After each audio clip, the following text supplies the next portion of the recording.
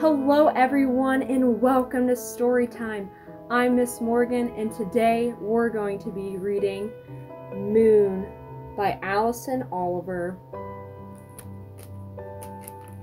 Every day, Moon walked home from school and thought about the day. There was always a lot to do. Stuff to do.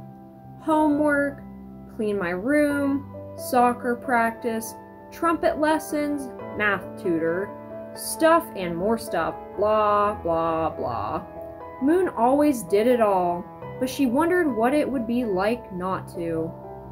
What would it feel like to be free? To run, to yell, to be wild. Can you learn to be wild? Moon couldn't find the answer anywhere. That night, Moon saw a shooting star zip by. She went outside to watch for more. What she found was different. Paw prints? Strange. Exciting. Wild. There in the garden, a beautiful furry creature stared back at her. A wolf. Wolf offered Moon a ride. In a flash, they were off to the edge of the great forest. The forest opened to a clearing. Wolf's pack gathered to welcome Moon. She asked them to show her the wolfy ways. How to pounce.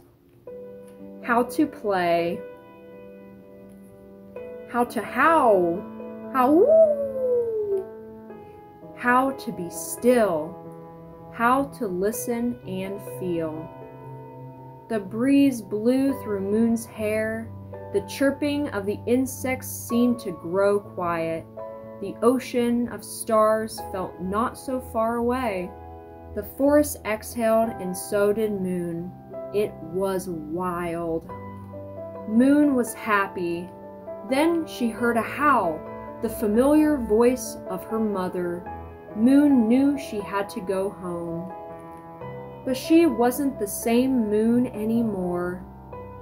The next day, Moon walked to school, and she took her wolfy ways with her. The end. Thank you guys so much for joining me this week for story time. I hope you like the wild book. And don't forget to check out Miss Debbie and Miss Erica's story times on Tuesday.